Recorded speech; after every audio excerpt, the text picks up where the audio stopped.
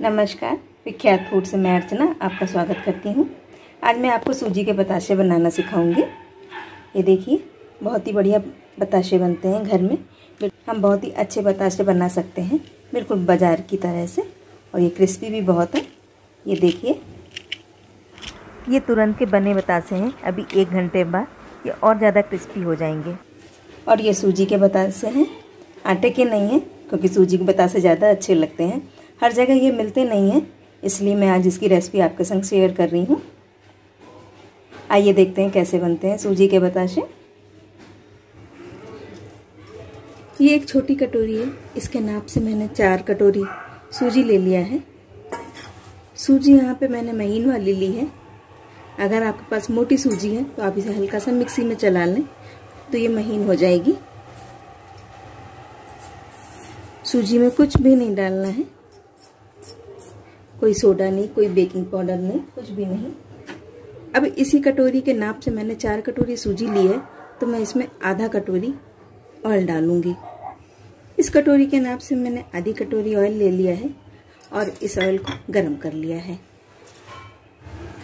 अब ये ऑयल हम इसी सूजी में डाल देंगे। ऑयल बहुत ही बढ़िया गर्म लेना है।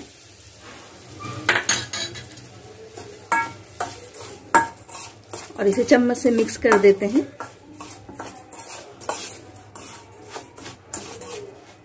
हाथ ना लगाएँ इसमें, क्योंकि ये बिल्कुल गरम तेल है। इसलिए मैं इसे चम्मच से कर रही हूँ।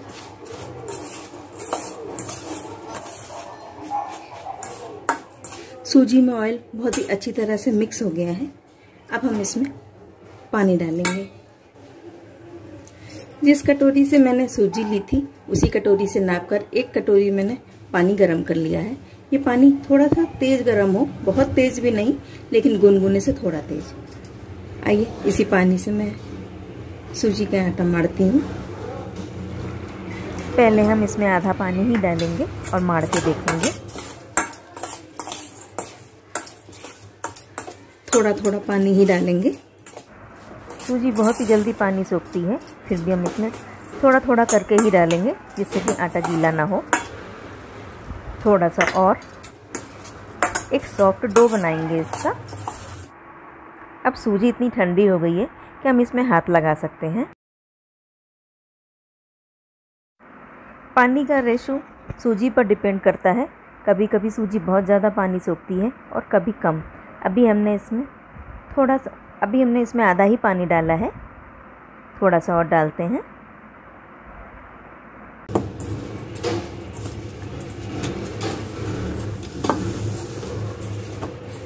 बिल्कुल सॉफ्ट डो लगा लेते हैं। अब हम इसे 10 मिनट का रेस्ट देंगे। सूजी को एक प्लेट से ढक कर रख देते हैं। इसे 10 मिनट का रेस्ट देंगे। उसके बाद बताशे बनाएँगे। एक कटोरी पानी में अभी दो चम्मच पानी रह गया है। ज़रूरत होगी तो अभी हम इसका यूज़ करेंगे। 10 से 15 मिनट हो गए हैं। आइए सूजी देखते हैं। थोड़ा सा टाइट हो गई है, लेकिन फिर भी अभी हम इसमें पानी नहीं मिलाएँगे। इसको ऐसे ही मलेंगे। पाँच मिनट तक अच्छी तरह से इसको खूब अच्छी तरह से गूँधेंगे अभी सूजी सॉफ्ट हो गई है। मैंने इसमें पानी नहीं मिलाया है। अगर आप करते हैं और आपके सूजी टाइट होती है तो आप इसमें एक एक चम्मच पानी डालते जाएँ। बताशों को क्रिस्पी बनाने के लिए इनको ऐसे पटक पटक कर मारना है। इससे इसके दाने टूट जाएँगे और बतासे भी बहुत अच्छे क्रिस्पी बनेंगे। आप लोग भी इन्हें ऐसे ही पटक पटक कर आटे को माड़ें ये ट्रिक ही बतासे को क्रिस्पी बनाएगी। सूजी बिल्कुल अच्छी तरह से सॉफ्ट हो गई है, बहुत ही बढ़िया डो हो गया है। बिल्कुल सॉफ्ट डो है, ये देखिए। अब हम इसकी छोटी छोटी लोई बनाएँगे। अब एक टुकड़े को उठाते हैं और इसकी छोटी छोटी लोई बना लेते हैं। बहुत छोटी भी नहीं और बहुत बड़ी नहीं, क्योंकि ये बतासे हल्के से मोटे बनते हैं।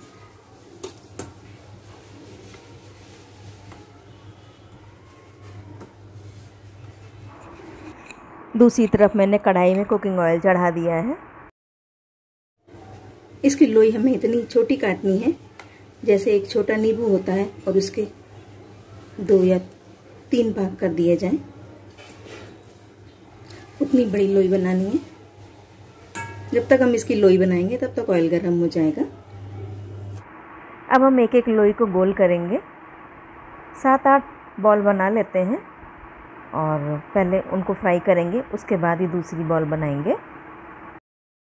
देखिए मैंने सात आठ गोले बना लिए हैं। बाकी के आटे को ढककर रख देते हैं। एक एक गोले को उठाते जाएँगे और बेलन से दबाएँगे। सिर्फ़ हमें एक ही बेलन चलाना है ये देखिए सिर्फ़ एक बेलन। इससे ज़्यादा की ज़रूरत नहीं है। आइए अभी इसे कढ़ाई में डालते हैं। कढ़ाई अच्छी तेज़ गर्म है। तेल बहुत बढ़िया गर्म हो गया है। इसमें बतासे डालते हैं।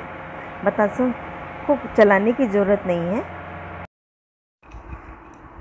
बतासों को बनाकर रखना नहीं है। हाथ ही हाथ बेलते जाएँ और कढ़ाई में डालते जाएँ। इन्हें चलाने की भी ज़रूरत नहीं है।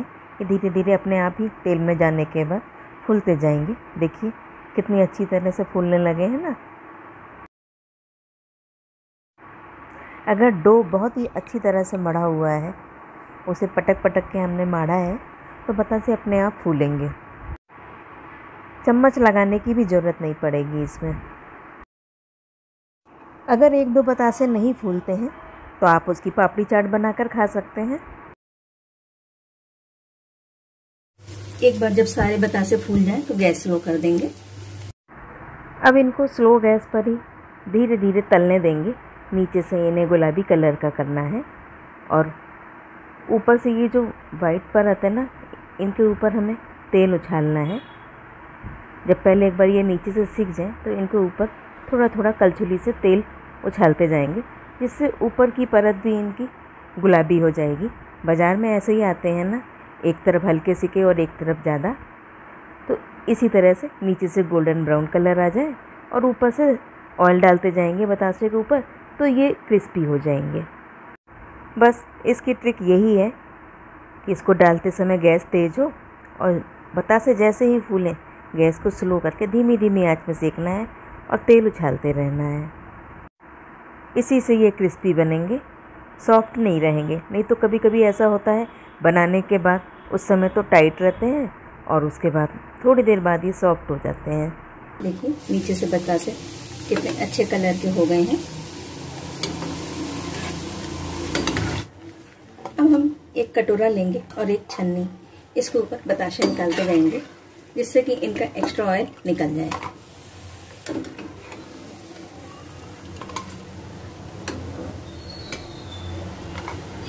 इसी तरह से दूसरे बताशे बना लेते हैं। थोड़ी सी ट्रिक है, और बिल्कुल बाज़ार जैसे बतासे घर पे ही बन जाएँगे।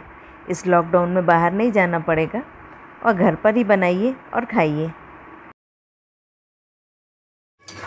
इसी तरह से एक छन्नी में इनको निकालते जाएँगे, जिससे इनका एक्स्ट्रा ऑयल नीचे चला जाए।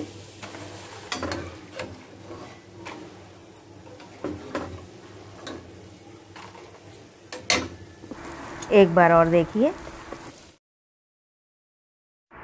इसी तरह से मैंने सारे बतासे बना रहे, बना लिए हैं। आप कब बना रहे हैं ये बताशे? मुझे ज़रूर बताइए। यहाँ मैंने करीब 200 ग्राम सूजी ली थी और इतने में 40 से 50 बतासे आराम से बन गए हैं।